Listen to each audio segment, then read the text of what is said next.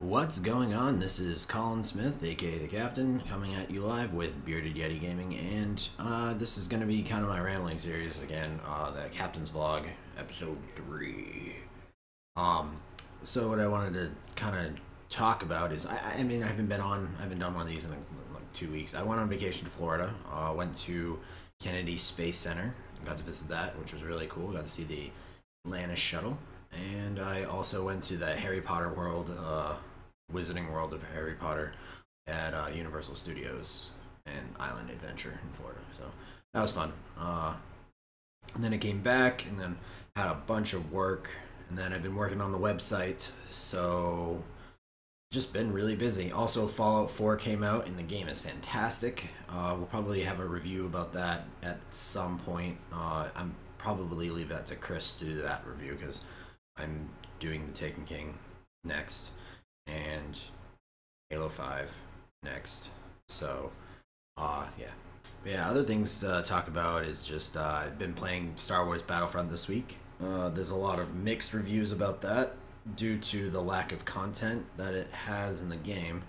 I mean, I can agree with that. The game is also very fun, though. Uh, and they nailed everything about capturing the Star Wars environment, all the way from the sounds to the way everything looks. It looks gorgeous and it plays well. Uh, I'm a big fan of flying around in either X-wing, Tie Fighter, whatever. Uh, so yeah, so I've been playing a lot of that this week. Fallout 4 last week, and I also played a little bit of Tomb Raider, but I, just a little bit. I also wanted to talk about. Uh, I so I've been reading a book. The uh, or I read two books uh, in the last two weeks.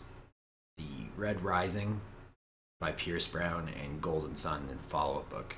There's a third one coming out called um, Morning Sun, Morning Star, Morning Star. I think it is.